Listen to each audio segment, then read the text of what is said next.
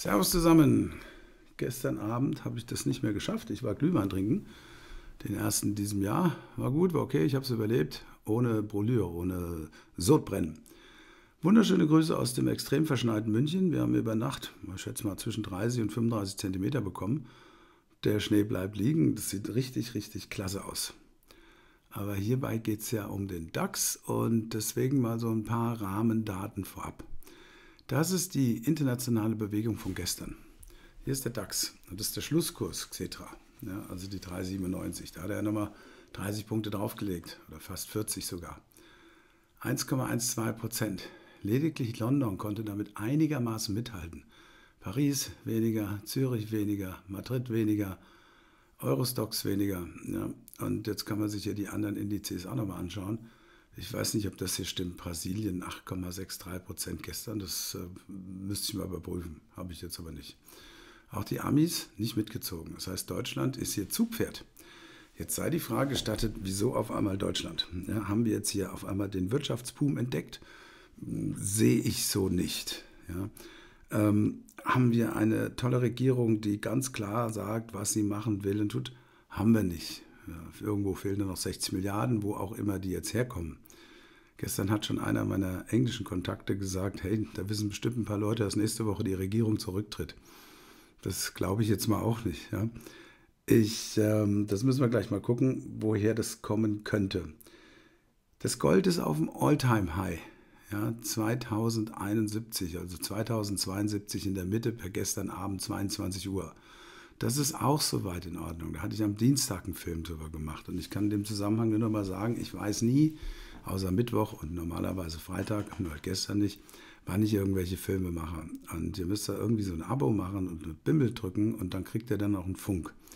Weil das kann sein, dass ich einen am Dienstag mache oder am Donnerstag. Das ist äh, situationsbezogen.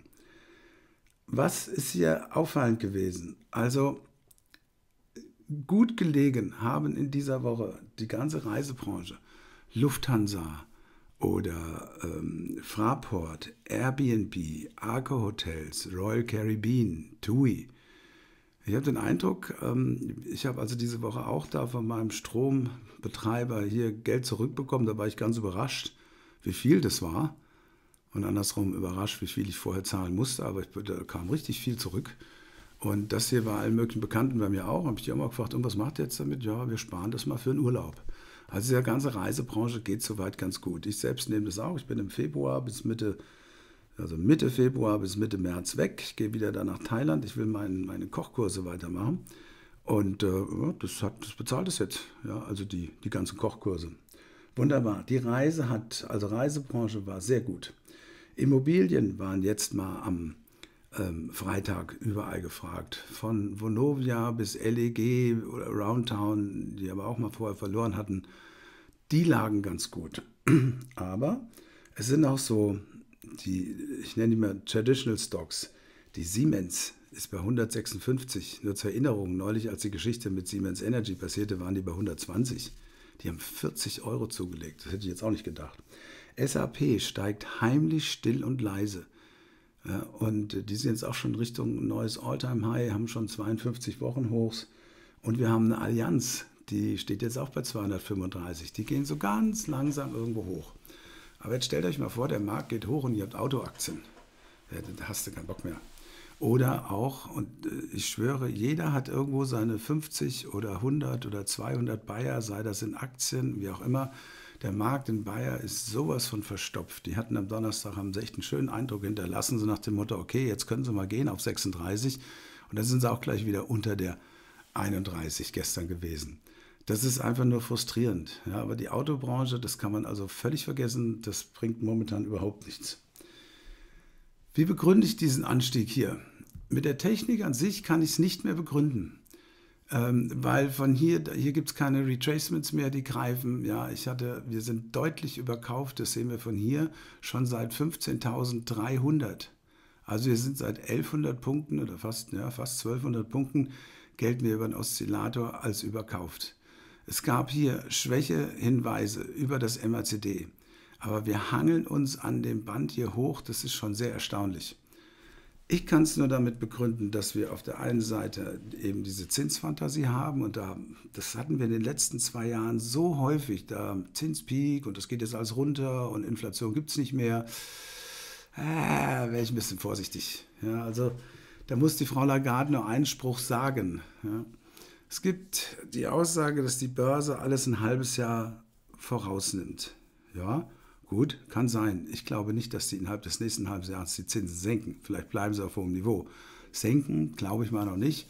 Aber gut, ich bin jetzt der Frau Lagarde nicht so nah, als dass sie mich da anruft und mir das sagt. Ja, aber ich glaube nicht, dass sie dann nennenswert irgendwie nach unten irgendetwas macht. Das kann ich mir nicht vorstellen. Wir haben den besten Monatsschluss seit, oder den besten Monat seit drei Jahren im DAX. Das alleine ist schon so eine Geschichte. Und ich begründe das also mit Zinsfantasie ist eins, aber ich begründe das auch mit einem durchaus einem Short Squeeze. Das ist eine Liste, die wurde veröffentlicht ähm, Ende September. Bezieht sich auf die amerikanischen Optionen, also auf die Optionen in Amerika, nicht die Optionen amerikanischer Art, auf die Optionen in Amerika. Hier steht es, Institution Board a record amount in hedges. Ja, das ist also Anfang September gewesen. Das hier, wo ist es denn jetzt hier? Das hier ist die Lehman-Krise seiner Zeit. Und da ist also, hier steht es auch, Last Week Panic Hedging. Dreimal mehr als in 2008. Ja, wenn einer ein, wenn einer ein Put kauft, egal ob im Geld, am Geld, aus dem Geld, wie auch immer, muss den irgendeiner verkaufen. Und der, der den verkauft, muss sich irgendwo auch absichern. Und wenn er einen Put verkauft, muss er sich nach unten absichern. Ich glaube, dass sowas hier durchaus der Grund ist, das ist jetzt wie gesagt nochmal für Amerika, durchaus der Grund ist, und das gab es in Europa so ähnlich auch, nicht ganz so extrem, dass die jetzt einfach diesen Shorts nachrennen. Also deswegen, ich denke schon, dass vor allen Dingen gestern nach 17.30 Uhr sind wir dann nochmal 40 Punkte gestiegen.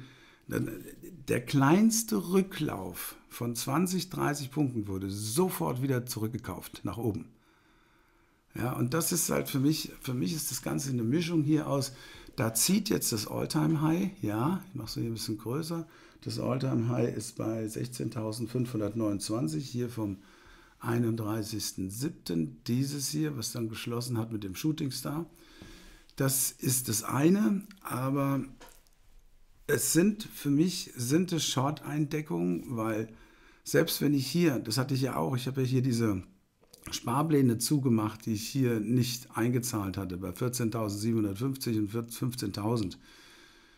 Ich habe mir jederzeit vorstellen können, hier eine 15.6.